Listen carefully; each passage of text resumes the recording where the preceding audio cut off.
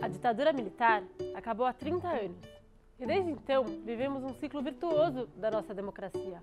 Estamos melhores enquanto país em todos os indicadores do que estávamos há 30 anos.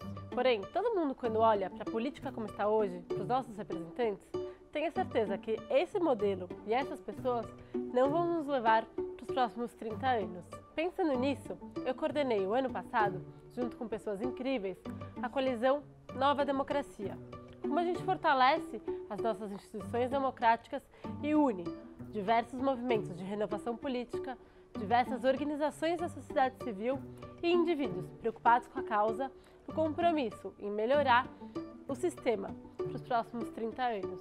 Essa colisão produziu o Pacto pela Democracia, que é um compromisso com pessoas que se dedicam a essa causa e candidatos que se comprometem a, se eleitos, endereçar uma reforma política profunda que permita um sistema mais republicano, democrático e funcional.